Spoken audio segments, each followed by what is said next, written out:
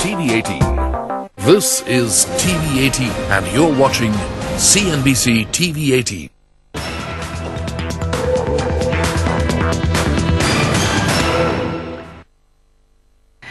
Welcome to Eye on India. I'm Shireen Bhan. In a bid to crack down on large corporate defaulters, the Reserve Bank issued an ordinance in May this year amending the Banking Regulation Act to give more teeth to the central bank to resolve the issue of non-performing assets. An independent advisory committee commissioned by the Reserve Bank of India has decided now to refer 12 companies to the insolvency and bankruptcy proceedings. These 12 companies account for over 25% of the gross non-performing assets in the Indian banking system. Now, the Insolvency and Bankruptcy Code was introduced in 2016 and that sanctions the reorganization and insolvency resolution of corporate persons, partnership firms and individuals. It has specific provisions for the insolvency procedure which may even lead to resolution or liquidation. Now, as we prepare to implement the code, it is important to focus on its impact on the larger ecosystem and its impact on the companies that are headed possibly towards liquidation. To analyze the challenges and the resolution process as we roll out the bankruptcy proceedings,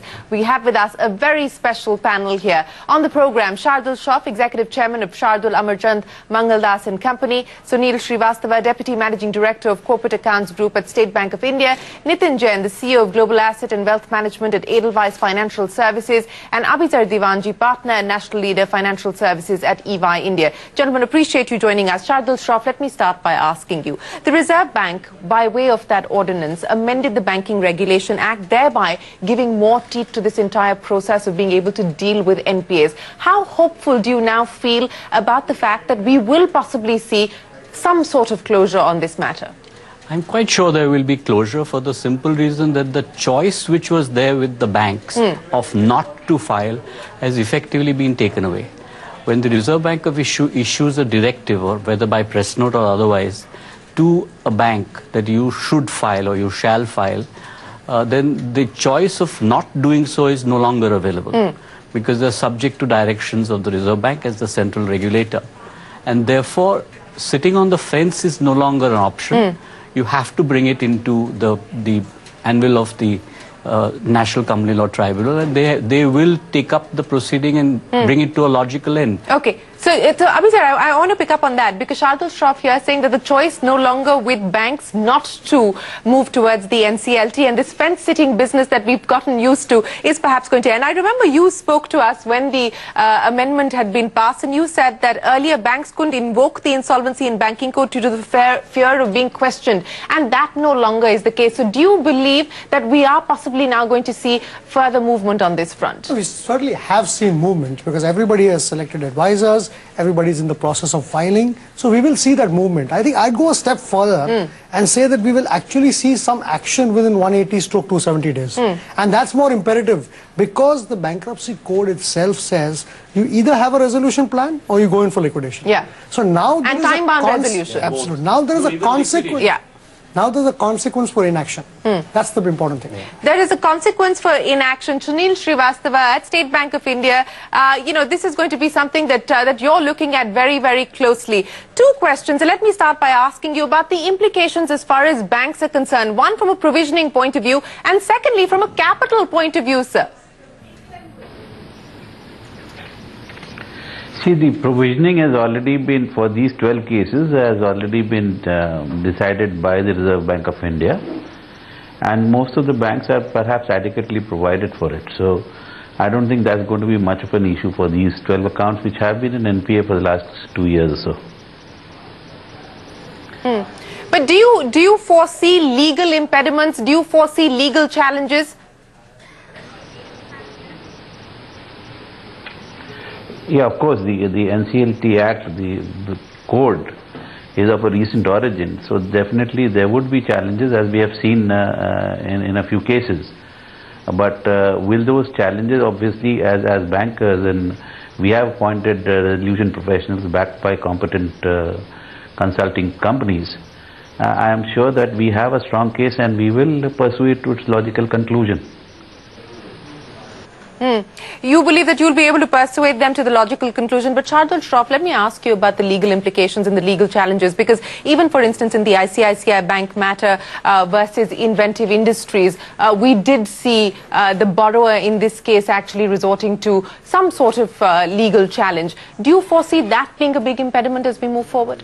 I think, uh, Shireen, there's bound to be legal process before the whole thing settles. If you take the previous SARFAESI law, hmm. it was challenged in Mardia Chemicals. So all new law which deprives promoters of their property or which has an impediment in terms of recovery, there will be some form of challenge, which hmm. may be legitimate, which may be stupid, but people will challenge it because nobody wants to really complete a process in 180 days. Hmm. It's too much for a promoter to believe that his asset which he has built over years is gone in just 180 days because if he can't come up with a proper resolution plan. So there will be a amount of uh, litigation process in the beginning, but I feel that the matters will shift to the Supreme Court very fast, and that's the only court which can decide it with finality. So I would welcome litigation because then it brings a welcome, finality. you to would it. welcome litigation. I don't know if the others on the panel would agree with that. Mr. Srivastava, would you agree with Shardul Shroff? Would you welcome litigation? You know, I would not welcome litigation because it will probably delay things, but yes, definitely it's a new act and precedences have to be created for subsequent uh, uh, filings to be expedited. So, to that extent, yes, these are these are going to be creating precedences, and then you won't have such things coming up in the future cases. Shireen, what I meant was just Yeah, supplement. yeah, yeah.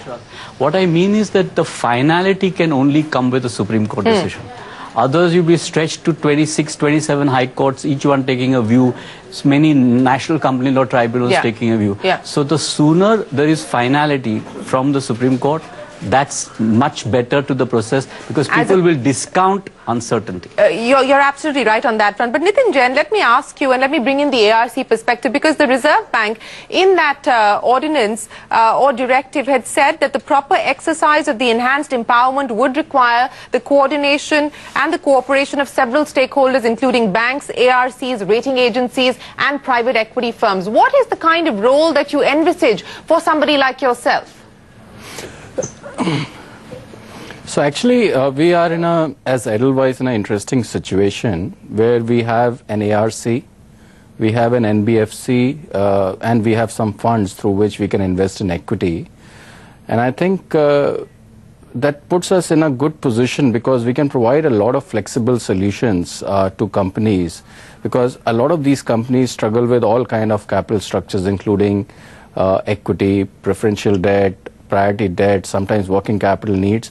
So the fact that you have different vehicles allows us to uh, provide all kind of interesting solutions. But I think broadly speaking, the way we classify these companies is good quality assets, asset, bad quality asset, and good quality management, bad quality management. And our focus is generally a lot more on the assets which are uh, economically viable assets, not necessarily uh, in a good position because of balance sheet issues. And I would rather prefer to go with management quality management which has demonstrated ability to run these assets. And uh, our solutions mostly are to provide uh, capital uh, structures which are more amenable to the uh, cash flows uh, of the companies, work with the banks, uh, help them restructure assets, buy out debt from them, and in certain cases where we think the asset is very valuable, but the management is not competent enough to run with the asset, we also provide significant oversight by bringing in our operating partners into the companies. So I think it, it's a it's a complete package that we try and bring in into a lot of these companies. So given the parameters that you've just uh, listed out for us, anything looks interesting for you? Uh, we are looking at a couple of cases in the NCLT. I don't want to name those assets, but there will be reasonable competition amongst different private equity investors, people like us, and some strategic as well. And I think we uh, we have to see how the situation uh, unfolds. But I think there are at least two or three assets which we are very keen, which are reasonably large assets, and I think we can provide an interesting solution to those assets. Okay, so uh, uh, Nitin here, looking at assets, two or three he finds exciting and interesting at this point in time. What's the sense that uh, that the two of you get in terms of where the buyers are? Let me ask you, Shardul Shroff. I think it's a tough market to find buyers in this market when there is so much uncertainty globally It's going to be a difficult proposition. I don't think it's going to be that easy. And the discounts may be steep because unless and until So that makes Mr. Srivastav's job even harder. harder. Because unless and until we have a proper structure of giving due diligence, hmm. no fund is going to put out money because they have very strict norms in terms of you know scrutiny. Hmm. So some of those issues will become very critical in this new batch of 12 where the action will have to start urgently in terms of you know the process of creating an information memorandum hmm. the process of going down an auction route the process of preparing a resolution plan. Those kind of things are going to see a lot of movement. And if the quality of that work is done at a high level then hmm. there will be bias. Hmm. But if the quality is inadequate then you will see more discounts rather than uh, you know sacrifices. Yeah, a slightly differing view. Yeah. I'll tell you what.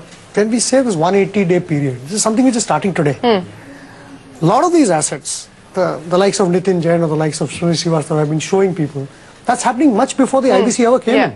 So there is a level of due diligence that's been ongoing, Ongoing. for a period Yeah, of time. yeah. So the first 12, effectively, there has already been an ongoing work in progress hmm. which is going to result or culminate in a transaction. That's one. Secondly, uh, are there buyers for these assets? I think there are. Hmm. They may not be strategics hmm. because of the global issues, but there'll be enough capital to hmm. be put behind structuring good businesses. So, you know, so for example, when you talk about NPAs, not Yeah. all of them are redundant assets. Yeah. Because when you talk about NPA, it's effectively non-performing assets in normally in terms anyway. If an assets that they have to be performing, they're not performing because of the leverage. And there are enough correctors available for the leverage in the market. So the likes of Nitin Jain are effectively correctors of leverage is what I mean. So believe. the repair of the balance sheet, you believe, Will certainly happen. certainly happen. Uh, Mr. Srivastav, just on this point of the discounts uh, that Shardul Shroff was talking about, because that is going to make the job of bankers harder, even though you now have oversight committees and so on and so forth. But, you know, the, the fact that how much of a haircut, who approves the haircut, I mean, those are going to be questions that you are going to have to deal with. Yeah, see, in fact, uh, a couple of points. One, these are operating companies, and uh, this is a question of their capital structure being actually realigned. That would require some infusion of capital, which the existing promoters do not have. And uh, the fact also remains that they cater to uh, some un- unmet demand in the country, so there could be uh, considerable interest. So I'd be surprised if I didn't get interest for some of these operating assets. On the question of what would be, you know, the haircut, etc. But you've already got, you've already got interested through the, parties, uh, sir? Uh, we have seen some interest. We are getting some interest, definitely. And as as things stabilize, probably in the next uh, the next few cases, we'll probably get more interest as the system stabilizes. And the question of the haircut, uh, definitely the process is to be run through the uh, through the resolution professional who will get uh, proposals, which will be evaluated and put up to the committee of creditors, who will have to vote 75% to get through. So this will be court court led, and therefore the any haircut would also have the benefit of uh, having had the wisdom of the court behind it. So just on that point that, uh, and I'll come back to the process in just a second, but I wanted to pick uh, pick up on the point that you made that you've already seen interest coming in. Uh, is is this a mix of domestic investors, global funds? Uh, can you give us some color on the kind of interest that's been evinced, sir? See, until the resolution proposals are received by the resolution professional in the in the uh, bankruptcy court, I, I think it would be premature to. But yes, people are inquiring about these assets, and we expect some interest going forward. Okay. Yes, Abhijit. So I'll just add this to you. What's happened always is, over the, before the IBC process formally came in, hmm. there were enough investors which actually came and inquired about assets, hmm. wanting to buy the hmm. assets. The issue was whether the pricing was right, Yeah. and was there enough information available. I think what the IBC process does, one is it tends to get the pricing more realistic. Okay. And secondly, it makes information available in the domain so that people can take some action in a more informative way. Okay, so it's bridging the deficit gap, there as far as the information asymmetry is concerned. On that note, we are going to take a break, but when we return, we continue our conversation here on uh, Eye on India on what the new bankruptcy proceedings could mean for corporate India. Stay with us.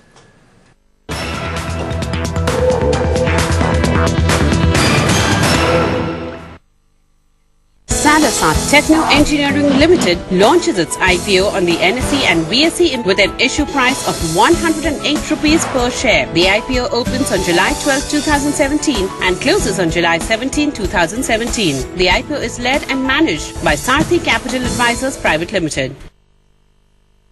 Hasbro. This week, top six teams from the Steel City of India spar to prove their mettle. Average of Oscars, is that your final answer? Plus 100. Catch Tata Crucible, the Campus Quiz 2017, Jamshedpur Finals. At these times, only on CNBC TV 18. Presented by Tata. Leadership with trust. Galaxy S8 with infinity display. Less to hold and infinitely more to see.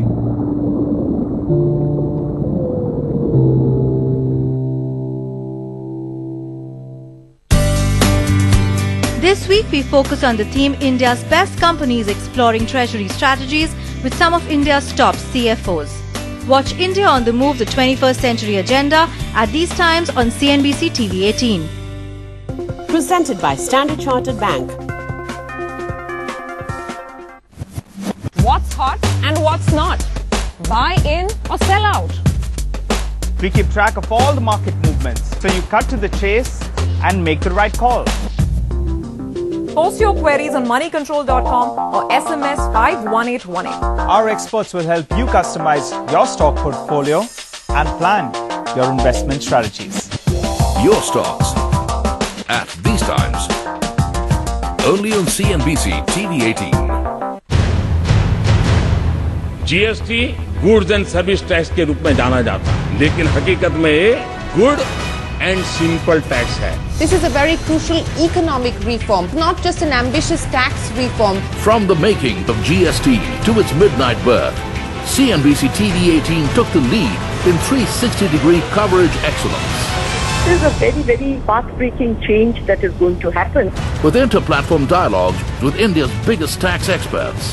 Let's fasten our seat belts. Good and simple tax, but not as simple as we all expected. This is, in fact, a achievement like no other in the economic history of our nation. Let's not judge it today or next week or next month. Immersive ground reporting and in-depth analysis.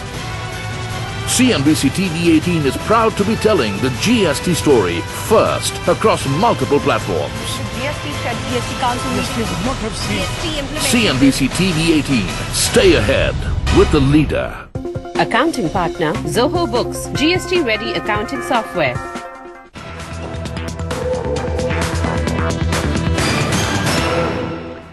Welcome back. You're watching our special show Eye on India and we're discussing the implications of the new bankruptcy proceedings on corporate India. Shardul you know, let's talk about the infrastructure challenge as well. We talked about the legal impediments, but how prepared is the system for the deluge of cases that are, it's probably going to have to deal with?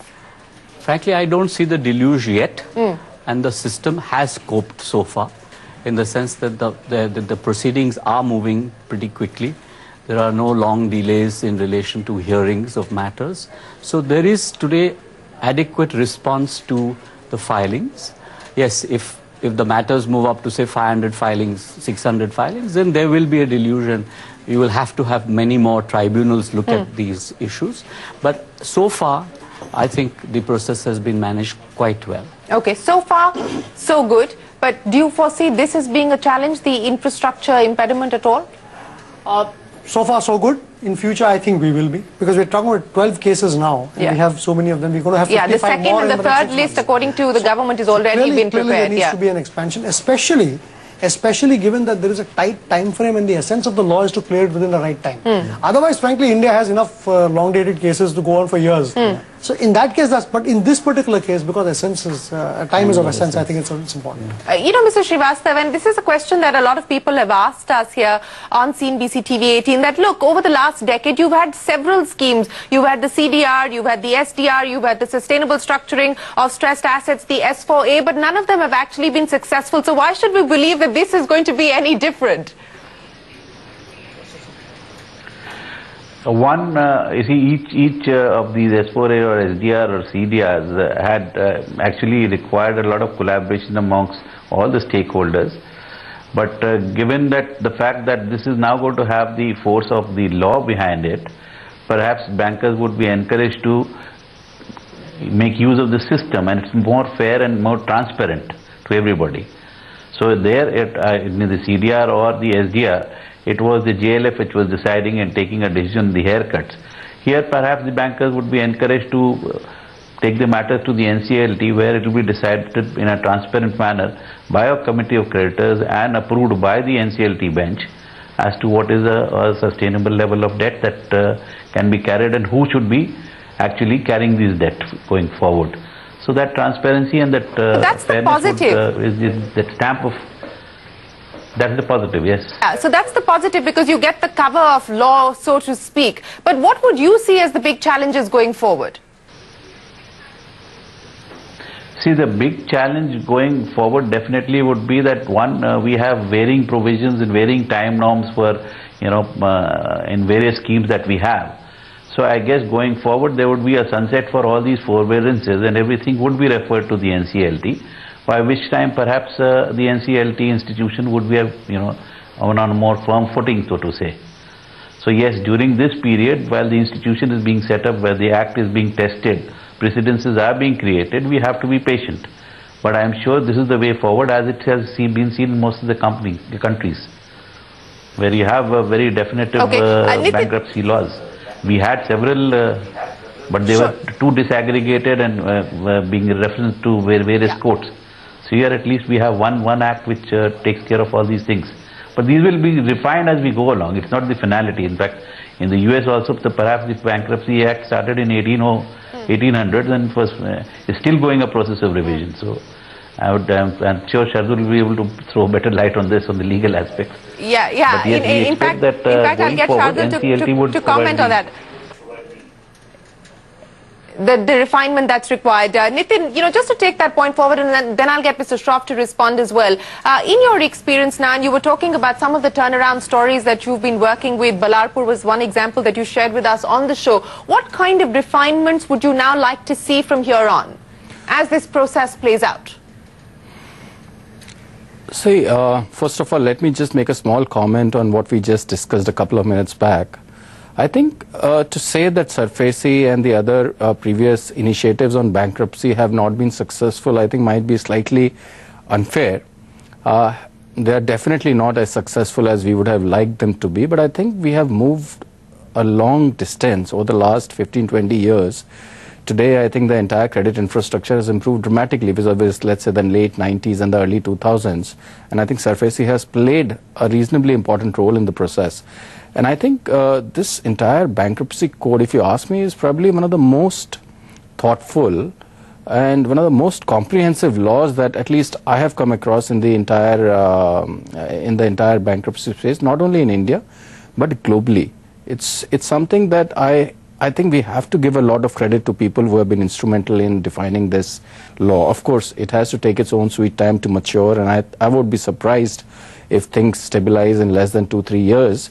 But what else could you have asked for? If you ask me, today when you talk to promoters, when you talk to bondholders, I think uh, most of them are reasonably confident that it's a it's a fair process, it's a time-bound process, and one big thing that it allows us to participate in these processes is the fact that people are forced to take decisions together.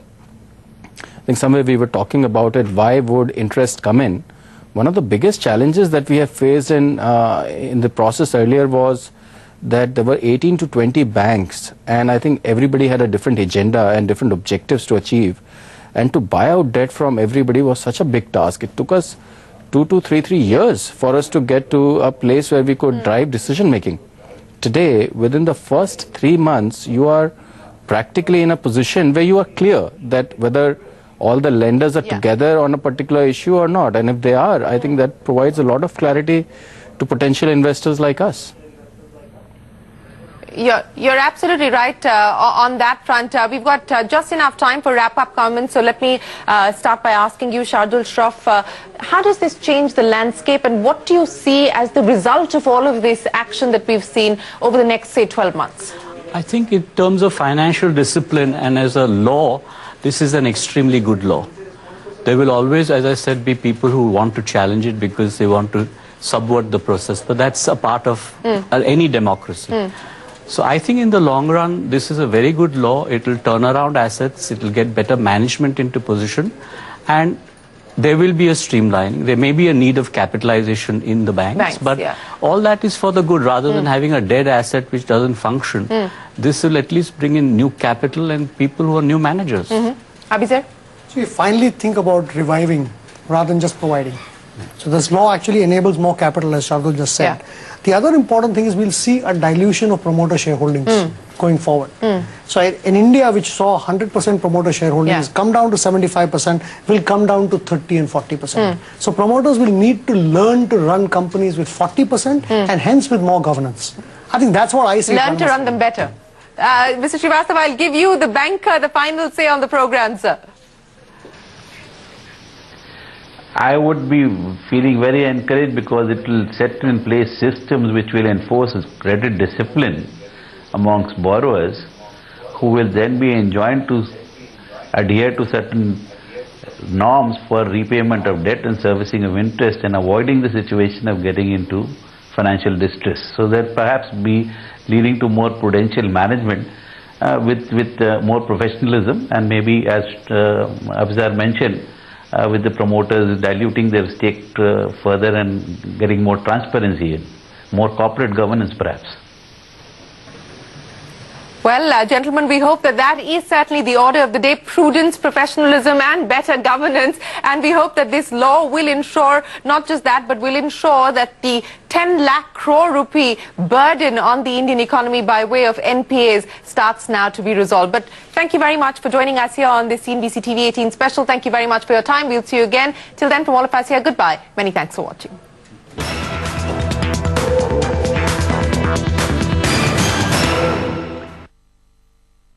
Presented by EY, building a better working world. Superman! Ready?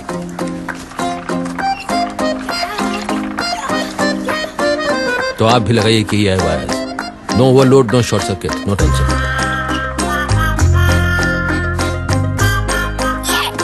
के wires जोड़े दिलों के तार you ask your daughters to stay indoors after dark? Do you ask them to refrain from wearing short skirts? Then you're only shielding them from the problem, not solving it. Sensitizing our children from the start to respect men and women equally will bring in a new tomorrow where our women do